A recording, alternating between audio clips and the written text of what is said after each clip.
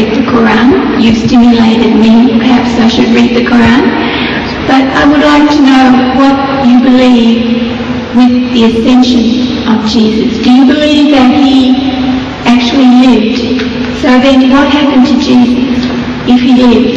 If he did not die, if he lived? No, the Quranic ayah, the verse that I read to you, the last expression I said was, Bal rafahullahu ilayh. But Allah took him up to himself. We Muslims believe that God Almighty took him up, saved him from that ignoble death and nakedness of the cross, because the people on the cross were absolutely naked. They didn't respect you to put a little loincloth around the man. The messenger of God, you say the son of God, naked and bare before the world, you know, flies buzzing around him. No, no, no. God Almighty didn't allow that to happen to his servant, his messenger, Jesus. God saved him and took him up. And I say, he's coming back to just you.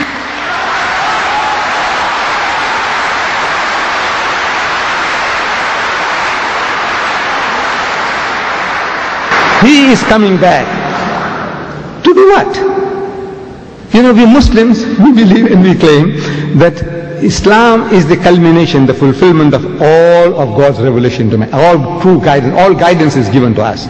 We don't have to learn anything new from Jesus or Moses or Muhammad anymore. Whatever God wanted to give, He's given it to us. So what is Jesus coming to do?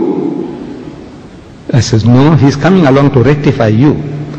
And he's telling you in the Gospel of St. Matthew, he says, many will say to me on that day, in his second coming, on his return, and many will say to me on that day, Lord, Lord, did we not prophesy in thy name, and in thy name cast out devils, and in thy name do many mighty works? They're going to ask Jesus, didn't we do all these things? We build hospitals you know, orphanages, and we looked after, after the Aborigines, and we looked after the Maoris, uh-huh, and we looked after the Indians. Ah, yes, yes, all these things we did. Uh, we educated all these fools, you know, we civilized them, we cultured them, yes, yes, yes, we did all the things. So did we not prophesy in thy name, and in thy name cast out devils, and in thy name do many mighty works? What does Jesus say to that? He said, I never knew you. He said, depart from me, ye that work iniquity. You are evildoers, you are evil mongers. Who is he? You who are working in the name of Christ, looking after the lepers, looking after orphans, Mother Teresa, wonderful work she's doing. My God, I tell you, you know, I bow my head down out of respect for her. All the wonderful things you people are doing. The way you look after the animals, you know, animal conservation to preserve life. Whew, fantastic things you are doing. But for human beings as well, what what you are doing. And that's what you're going to say to Jesus? I'm asking the Christians. Answer me. You know why? You know why? Because you call him Lord.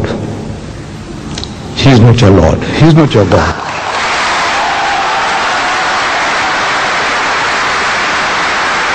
That's the reason. That is the reason.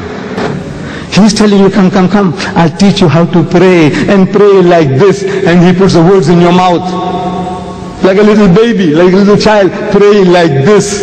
Oh, our Father, which art in heaven, our Father, which art in heaven, including Judas, because Judas was in the group. He's the father of everybody, the sinner and the saint. He's the creator, Lord, cherisher, sustainer. Call him Father, okay.